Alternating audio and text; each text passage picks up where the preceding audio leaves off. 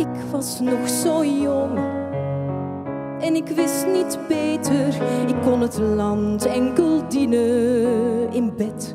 Ik ben Lisbeth Rozen en ik speel Marie-Antoinette in het nieuwe spektakel Marie-Antoinette. Marie-Antoinette had vele kanten. Zij was ook heel jong en zij is in een situatie beland waar dat ze veel te jong voor was. Mensen zeggen allemaal dat ze dat kennen ook, dat ze de rol kennen of het verhaal kennen, maar er zit zoveel achter. Ik hoop dat ze de goede kant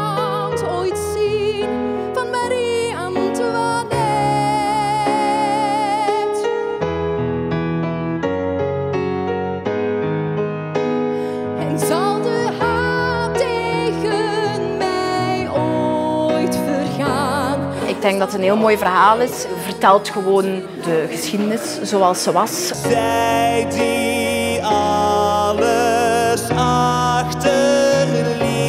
Het zal net na de zomer zijn, het zal in september zijn. Het is buiten, het is een spektakel aan het kasteel van Winnendalen. En ik heb het kasteel gezien, het is ongelooflijk mooi. Heel veel plaatselijke mensen die ook meedoen, dus dat, dat gaat echt wauw zijn.